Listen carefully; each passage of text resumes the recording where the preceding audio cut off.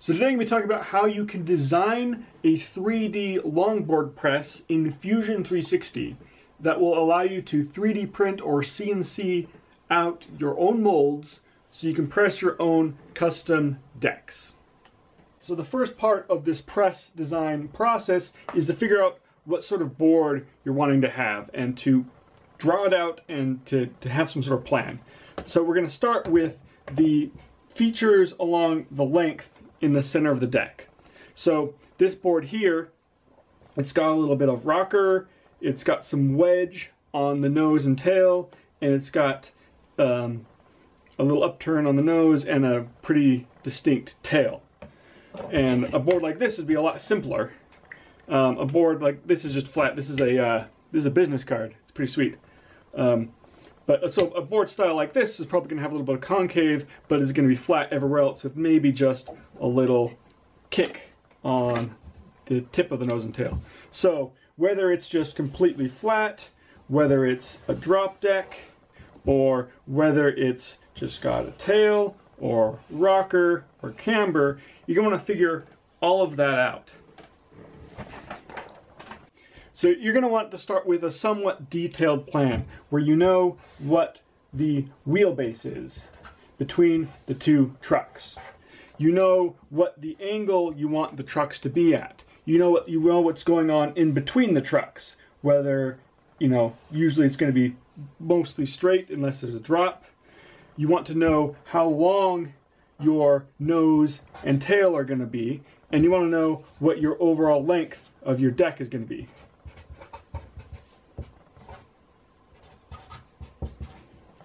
So, yeah, so you want to have all this sort of figured out kind of beforehand and, uh, and get it all drafted out.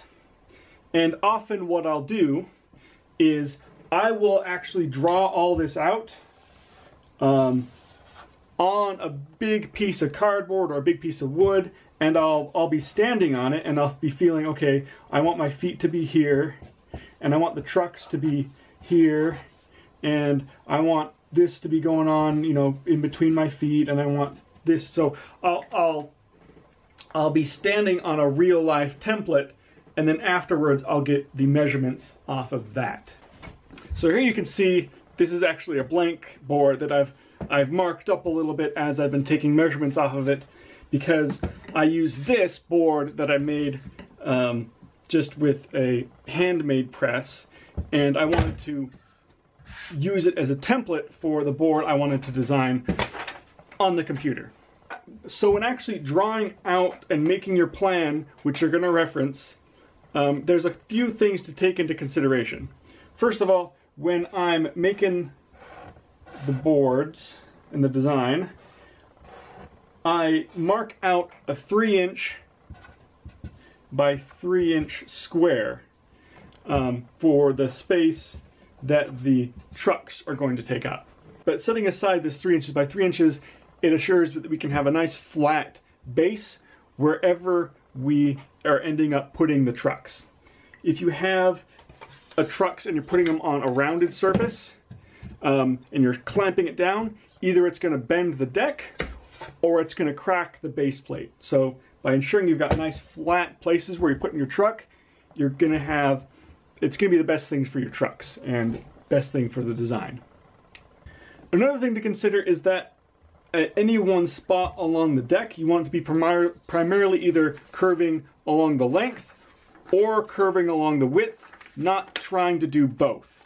Because if you're trying to do both, you're actually causing, you're not bending the wood, you're actually causing it to stretch and compress. And, and that is what I like to call torture bending. You can get away with some torture bending if you've not gotten a strong enough press, but if you're only using a vacuum press, you can't get away with really that much at all.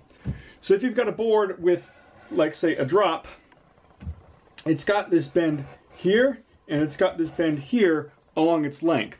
So that means along its width at that point, let's say it's got the nose, oh, that's a very funky nose. Wow, Okay. So let's say it's got the drop happening here and here for for these two parts of the bend. So that means that the there's not going to be any really any concave in this section where it's undergoing this curve along the length. But past that point, you can start developing the concave so that curves along its width. I think those are the main things to consider when, uh, when getting started. So once you have all your plans made and you've got a good idea of what you're doing, then we'll move into Fusion 360 and uh, start drafting that all out. So this isn't from a grounds up tutorial on Fusion 360. So I'm expecting you to know some of the basics like making sketches and using constraints. But past that, it's probably going to be having a lot of details. So first thing you want to do is you're going to go to your user parameters page. And you're going to want to input um, as much parameters as you can, basically, uh, into, the, uh, into this table from your plan that you've drafted out. And you just go to the plus sign here and enter your parameter name, the dimension. Um, you might need to change the units if it's not a length. So for instance, I use degrees a couple times. And we're going to do that. So you, enter user parameter, and how these work is you use these as references um, every in places in your sketch, and you can change something here on this parameters page, and it will enact that change in all the sketches that use that parameter. So that's important because iteration is a, a big part of designing and making boards. So you're probably going to have some issues at some point that you're going to need to make tweaks to. So having these parameters and making the designable parametric is a good thing to do. So next you want to create a sketch and we're going to create this deck profile. And this is the shape of the deck along its length. So we've got this shape right there. And you can see as I go into it that I'm using the wheelbase parameter, the truck length parameter, nose length, nose height, and you know front angle. I'm using all these parameters to construct uh, this shape. So I'm basically using it to, to place. So these two flats here are the flats where the truck sits. And I have this point, that point, and that point. And I'm connecting them all with splines with this tool here. So the thing to know when using splines on a thing like this, if I go into it and click on the spline, you can see um, it's got these, these tabs at the end, and you can move these around and change the shape of the spline. On the end where it's connected to the rest of the profile, you want to make sure that it's, it's um, what's the word, coincident with the other part of the profile, right? So other thing I've got here is this circle.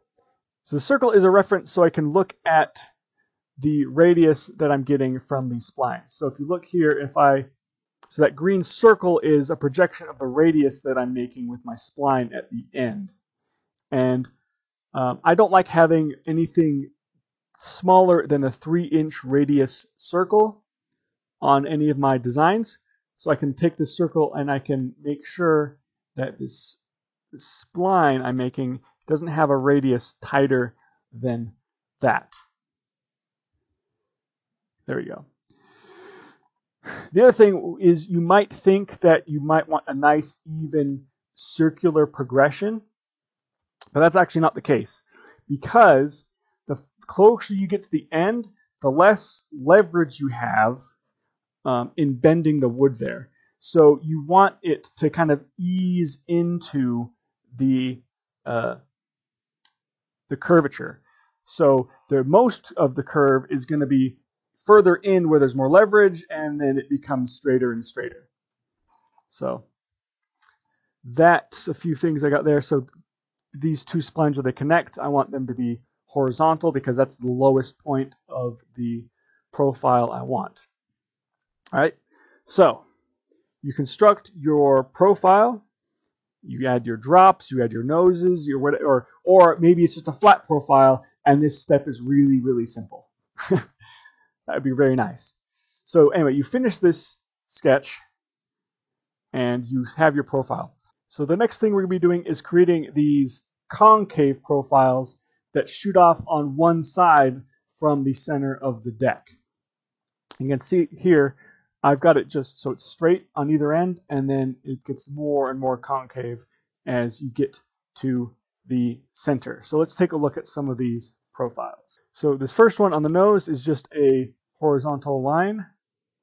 Let's look at look at this first one. So you can see nose front truck A. So this attaches at the front of the truck there. And what you've got to do when you make these uh, concave profiles is they have to connect to the deck profile sketch. And if I just delete everything really quick, the way to do that is with the create, uh, project include, and you want to project the intersect. And then you select the line, that line, and you press OK. And that will let you create something that connects this sketch to the deck profile sketch. And you can make your, your uh, concave profile the way you want it.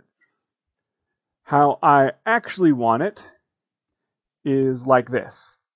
So I've got two parameters here I'm using. I'm using my stringer width. So my board's not going to have any concave along the entire length um, for the width of this stringer I'm putting on it. Uh, but you will want to make sure that it is in, it is indeed flat between where the true trucks are because you want this nice flat square, that 3 by 3 square. So I've got this dimension using the stringer width, and I've got this other dimension up here using the board width. And then here I'm just kind of freestyling what I feel like the concave should be. And then I'm using another spline, which is again uh, tangential to this line here and creating that profile. And I'm creating profiles uh, in significant places along the length of the deck. This board's pretty simple, so there's actually not that many profiles. You need one on either end, and uh, and that's basically the minimum. But I want one on either side of the trucks to make sure that I control this progression here, and I want one in the center, and then this takes care of that whole half, and then I just do the same thing on the other side. So the next step once you've created the deck profile and all these concave profiles is to do a surface loft. And that's done in this surface workspace. And that creates this, this flat surface. And if we take a look at this surface loft, I'm using the, I'm grabbing all these profiles that I made for the concave profiles, and I'm using this rail here. I'm using the the deck profile as a, a rail to construct the deck. And it's going to follow that rail and it's going to create this nice uh, surface. What I'm going to be doing with this surface is I'm going to be using the press pull command to offset it downwards by the thickness of the deck. And then I'm going to create another loft in the original position. So now I've got these two surface planes that are the thickness of the deck apart from each other. So this has now constructed the, the shape and profile and thickness of the board. So now we're going to create a big block that we're going to cut the board out of. So we're going to create this uh, mold body sketch here. And this mold body uses the board length and the board width. And it's just placed manually to line up with the length of the surfaces. And I'm simply extruding that to make this big old block that's got these surface planes intersecting it. And what I did is I then extended the ends of this top plane uh, because it wasn't quite big enough. I think what you want to do instead is actually back when you're making your sketches, give a little extra space so that these surface planes will be in fact large enough. And then what I'm doing is I'm using the split body command. And in the solid workspace, uh, yeah, split body, and I'm using the two surfaces I've made as splitting tools on the, the main body, and I'm creating a, a deck, I'm creating a male mold, and I'm creating a female mold. So because the way that we offset the two uh, surfaces, we've created this mold with the top mold and the female mold having uh, consistent distance between them everywhere along the entire surface. And that's really important for getting a really good layup. Um, using just a uh, solid surface uh, loft or a solid surface push and pull isn't going to be as good as having these uh, using the surface environment and using the push pull here. So this this way it's it's exactly what it needs to be. Yeah, so at this point I I'm mirroring everything and this gives me the full the full size of the board that I am looking for. And there we go. That is my pressed up blank that I'm hoping to get. So next step is we're going to get the, uh, we're going to make the board template design. And this isn't strictly necessary, but it's good for visualization at this stage. And I've just drawn out the shape of the deck and I'm going to extrude away and that's going to leave me with the final shape. And I put some nice chamfers on that to make it look real nice. So the final step to kind of get this basically done is I want to get some holes put in deck. So what I've done here is I've made these offset planes that are going to uh, give me these truck templates at the angle of of the deck. And this isn't really that important if you're not this isn't important at all if you've got a flat deck here where the trucks are. But if you've got a, a major wedge going on, so let's say you're making like a dirt board style thing and you got at like a 40 degree angle, it becomes important to make these uh, truck template holes um, in line with the plane of the truck. So I've made both these front truck template and the rear truck template, and I've projected it onto a, a flat plane on the top. And what that allows me to do is then extrude, if you see here, I can extrude um, the position of these holes on the vertical plane instead of, if we look at these ones, on an angled plane. Um, so if you're doing a 3D printed mold, you might want to have these uh, angled drilling guides rather than the projected holes like I have here. So it's projected and it's perpendicular. Um, but for such a small angle, there's really not that much a difference. So this is something to worry about if you're having, you know, more extreme wedges than say, say five degrees or so. So, so what I've done at this point is I've extended the mold to add some, some features for alignment. So I've got a stop on this end. I've got these holes, which I'm going to be using for conduit for alignment. And I've extended, so I've extended the front a little bit there so that if I have a little extra board length, any extra board length is going to be given to the tail and yeah, and then I'm just building up the rest of the mold.